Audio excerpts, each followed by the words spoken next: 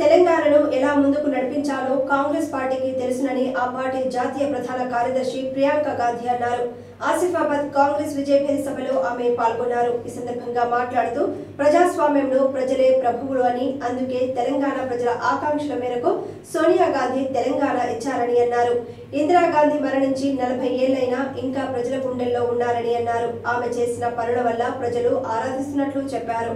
ఆదివాసీ సంస్కృతి ప్రపంచంలోనే అత్యున్నతమైందని అన్నారు. గిరిజనులు ఆదివాసీల అభివృద్ధికి ఇందిరాగాంధీ కృషి చేశారని అన్నారు. ఎన్నికల్లో కాంగ్రెస్ అద్భుత విజయం సాధిస్తుందని అన్నారు. ప్రత్యేక రాష్ట్రం వచ్చిన కేసీఆర్ అధికారంలోకి వచ్చి పదేళ్ళైనా ప్రజల కలను సాకారం కాలేదని అన్నారు. యువతకు కేసీఆర్ ఉద్యోగాలు ఇవ్వలేదని అన్నారు. కాంగ్రెస్ అధికారంలోకి రాగానే జాబ్ క్యాలెండర్ను విడుదల చేస్తామన్నారు.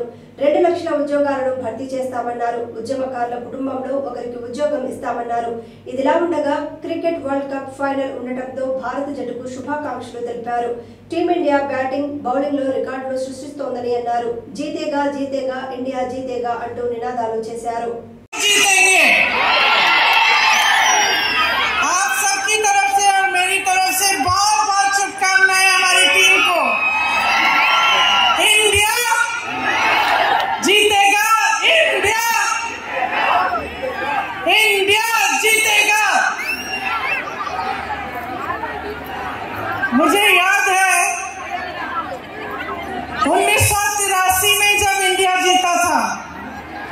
समय इंदिरा जी थी और इतनी खुश थी। पूरी टीम को अपने घर बुलाया चाय के लिए। आज उनका जन्मदिन है। पक्का आज हम फिर से जीतेंगे। आप सबको बहुत बहुत धन्यवाद। ज़्यादा कष्ट नहीं दूँगी क्योंकि मुझे मालूम है मैच शुरू होने वाला है तो ज़्यादा लंबी बातें नहीं करूँगी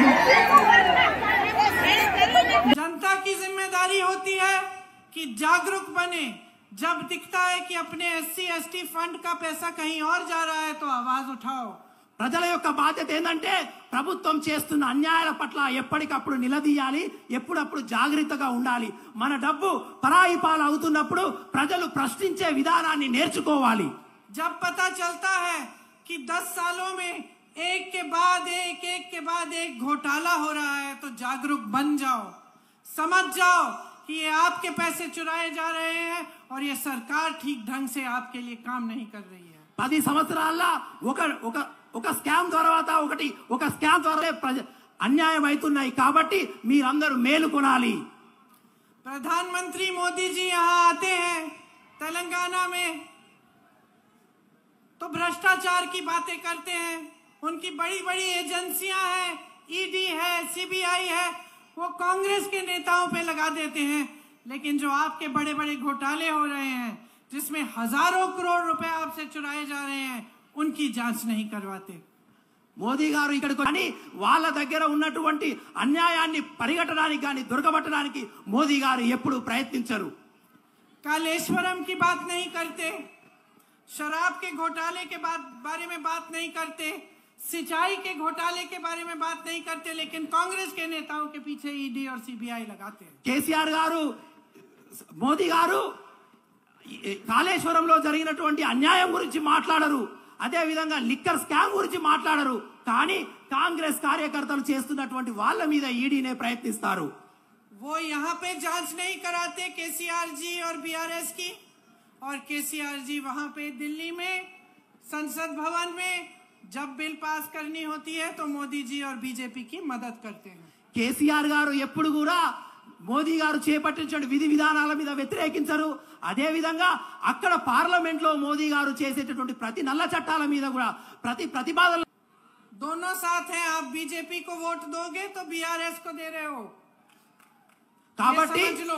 కాబట్టి వీళ్ళిద్దరూ ఒక్కటే బీఆర్ఎస్ బీజేపీ ఒక్కటే మీరు ఎవరికి ఓటేసినా కూడా వారు ఒకరికి ఒకరు సహకరిస్తూనే ఉంటారు और बीआरएस को दे रहे हो तो बीजेपी को दे रहे हो ఒకవేళ బీఆర్ఎస్ కు ఓటేస్తే అది బీజేపీకి ఓటేసినట్టే ये तो दोनों साथ साथ है ये रे- लेकिन एक तीसरा भाई भी है इनका और जो बात जो बात बीआरएस ने की थी कि कृषि ऋण माफ करने की लेकिन उन्होंने की नहीं वो हम आपको करके दिखाएंगे ఏదైతే బీఆర్ఎస్ ఈ యొక్క వ్యవసాయ రుణమాఫీ చేస్తా అని మాట తప్పిందో అది మేము తప్పకుండా ఈ యొక్క రైతుల యొక్క రుణాలను బ్యాంకులో ఉన్న రుణాలను మొత్తం మాఫీ చేసి మేము చేయి చూపిస్తాం ये शर्म की बात है ये शर्म की बात है कि इतनी आत्महत्याएं होती हैं आपके प्रदेश में शर्म की बात है कि किसान आज तरस रहा है केंद्र की सरकार की नीतियां ऐसी हैं कि महँगाई बढ़ती चली जा रही है। पेट्रोल, डीजल महँगा है। हर चीज़ पे ट्रैक्टर पे, हर चीज़ पे जीएसटी है। किसान अपनी खेती से कमा नहीं पा रहा है। जहाँ कांग्रेस की सरकारें हैं, किसान अभी भी खुशहाल है। छत्तीसगढ़ में किसान खुश है। उसने अपनी कमाई बढ़ाई है, अपनी आमदनी बढ़ाई है। जो पलायन करके दूसरे प्रदेशों में जाते थे, वो वापस आने लगे हैं। हम भी चाहते हैं कि तेलंगाना के किसानों की कमाई